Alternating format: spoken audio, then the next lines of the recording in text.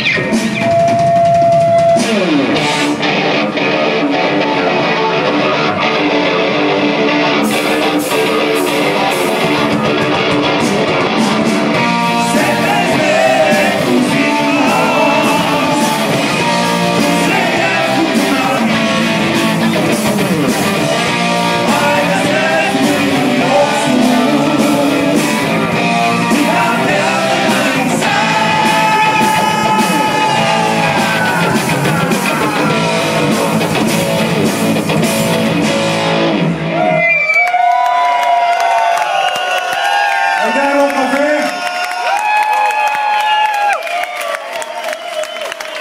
Nagu te aru olete saanud, siis me oleme kontserdiga jõudnud nüüd sinnamaani, kus äh, oli moodustatud ansambel GGG ja kuna me oleme seal ka ise natukene mänginud, siis seal ei tea kunagi, mis saab.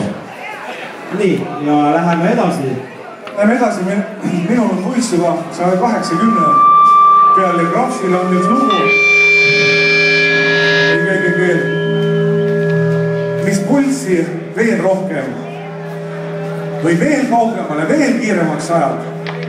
ja see algab trummikreigiga, millega